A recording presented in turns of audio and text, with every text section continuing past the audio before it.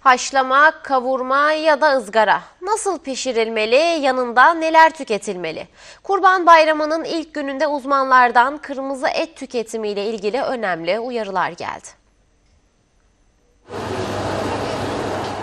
Kurban Bayramı'nın sembolü kavurmalar sofralarda yerini aldı. Eti pişirirken yanında sebzelere ağırlık verirsek bizim için demirin daha aktif olarak kullanılacağı bir kaynaktır. Uzmanlar yeni kesilmiş kırmızı etin 24 saat dinlendirilmesini öneriyor. Neden mi? Şişkinlik, hazımsızlık gibi sıkıntılar yaşayabiliriz. Özellikle mide problemi yaşayan bireyler e, eti hayvanın kesildiği gün değil de bir gün sonrası yani 24 saat buzdolabında beklettikten sonra tüketmeleri sindirim anlamında onların daha rahat olmasını sağlayabilir. Et bol diye porsiyonları abartmamak gerekiyor.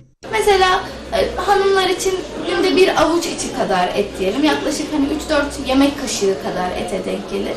Ya da işte ızgara e, ya da fırında türünde pişirilecekse de ortalama işte 150 gram bandında tüketmek bizim için uygundur. Farklı gıdalarla beslenme dengesini sağlamak da önemli. Eti pişirdikten sonra yanına şöyle güzel C vitamini içeren, bol C vitamini içeren bir salata, bir sebze yemeği ya da bir taze sıkılmış bir meyve suyu bizim için eti daha değerli hale getiriyor. Baklavaya gelince Baklava miktarını sınırlama getirmek, getirmek oldukça önemli. Hiç yememek evet uygundur ama bunu yapamıyoruz. Bu durumda mesela günde iki dilim baklava tüketmek gibi bir sınırlama getirebiliriz.